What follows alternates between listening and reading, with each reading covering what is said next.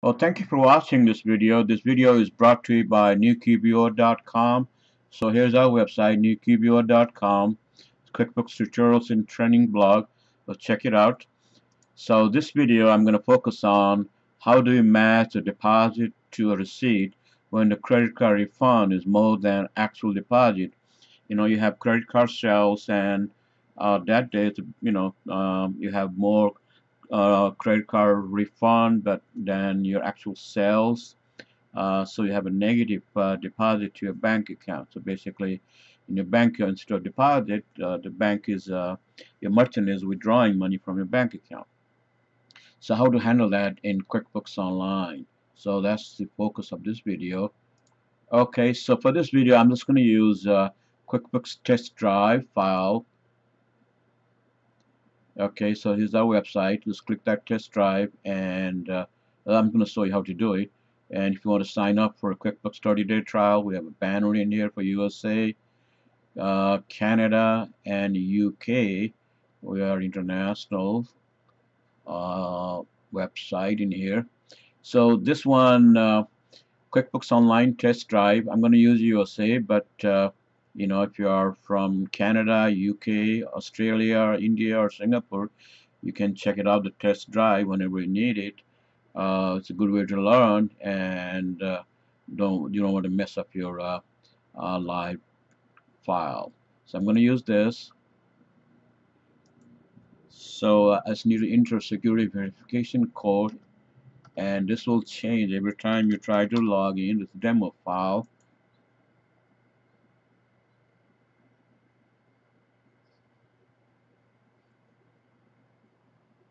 okay so now uh, let's go to the banking center here.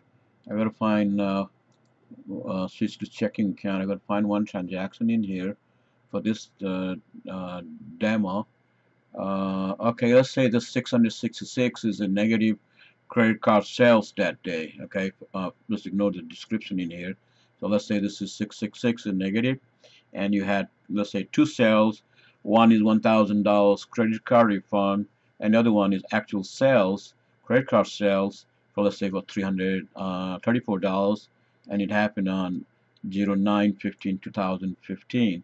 so normally you uh, you know create a refund receipt for that thousand dollars say is a customer and this is on 9 2015 or less doesn't matter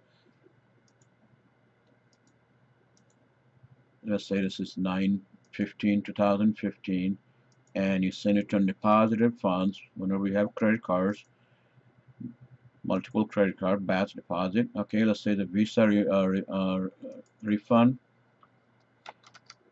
and services let's say this is for thousand okay and I'm gonna close this. And your next one is uh, actual sales receipt for $334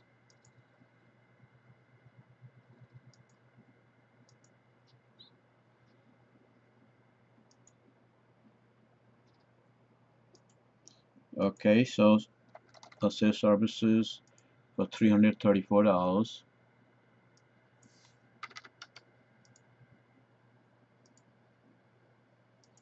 So ne negative uh, is uh, net between those two is still negative $666.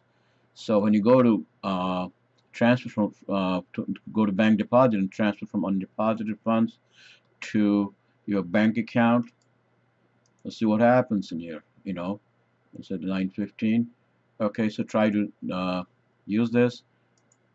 So it will say uh, error in here. You must specify a negative amount that is zero or greater so if it's a negative you don't take it uh, to bank deposit in here so that's the problem.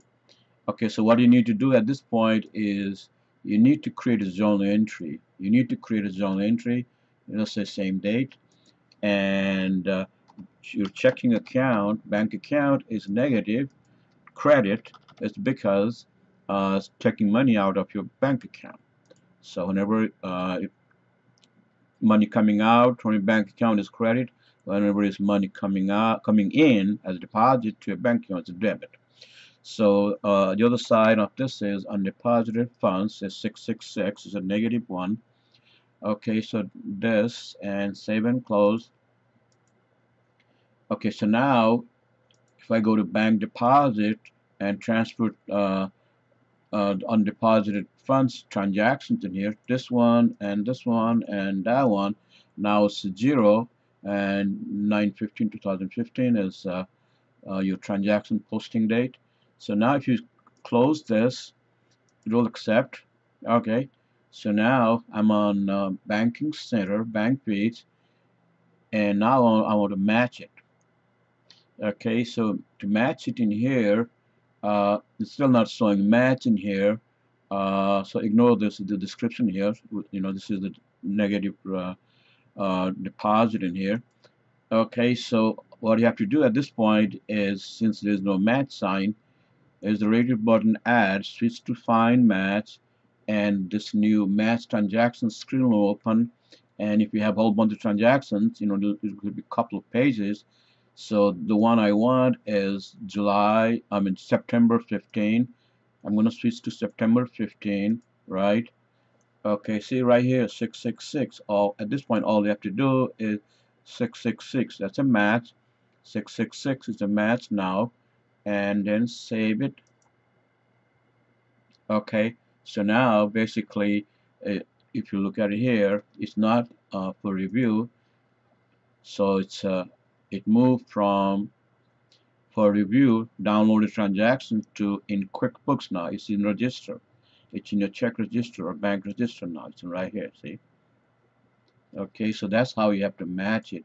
So if you go to uh, register you will see that 666 as a negative.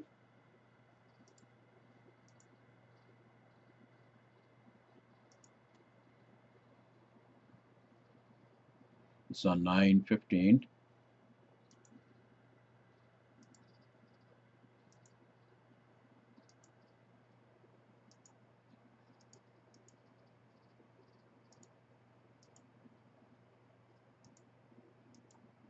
there you go 666 right? Although you'll see it's zero you can just ignore that one. So uh, 666 is as payment but it'll as journal entry uh, rather than deposit. That's okay. That's the only way you can handle this in QuickBooks. So that's how you have to do it. Uh, hope this video helped you. Uh, always visit our website newqbo.com QuickBooks tutorials and training blog. Thank you for watching. Bye